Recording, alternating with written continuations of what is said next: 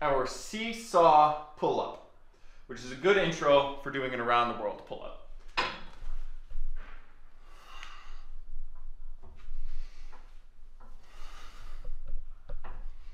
You are going a little bit wider, stay on your neutral or your regular bar.